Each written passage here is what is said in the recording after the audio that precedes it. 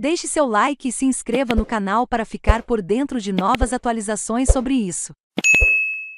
O dingo é geneticamente mais cachorro que lobo, aponta estudo. Os dingos, uma espécie nativa da Austrália, parecem cães vira-latas mas são geneticamente diferentes, embora tenham mais semelhanças com eles do que com lobos. Segundo um novo estudo publicado nesta sexta-feira, 22, na revista Science Advances venerados pelos aborígenes e odiados pelos fazendeiros. Os dingos são os principais predadores da Austrália, desde que os tigres da Tasmânia foram extintos no século passado. A posição do dingo na escala da evolução tem sido motivo de desacordo há algum tempo, disse a AFP, o coautor do estudo Bill Ballard, das universidades La Trobe e Melbourne. Alguns argumentam que esses caninos magros e de cor de canela, trazidos para o continente entre 5.000 e 8.500 anos atrás, são semelhantes aos cães domésticos.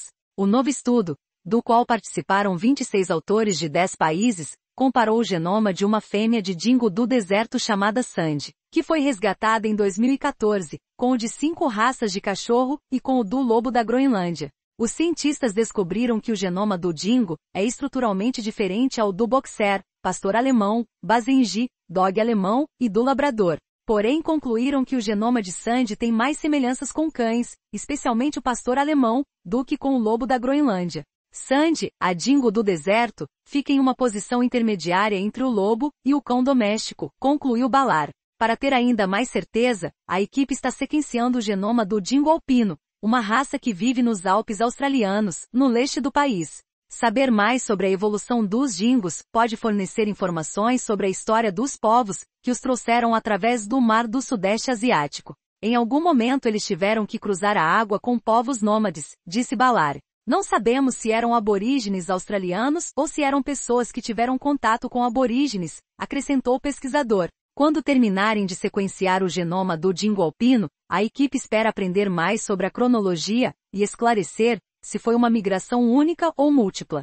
Como o lobo na América do Norte, os dingos despertam opiniões opostas, idolatrados pelos moradores da cidade e desempenhando um papel importante na cultura indígena, também são odiados pelos agricultores por caçar o gado. De acordo com Ballard, os dingos evoluíram para caçar pequenos marsupiais e não podem digerir facilmente alimentos com alto teor de gordura, o que significa que os cordeiros são mais propensos a serem a presa de cães selvagens ou híbridos. Uma teoria que deverá ser testada no futuro para livrar o dingo de sua má reputação. Veja também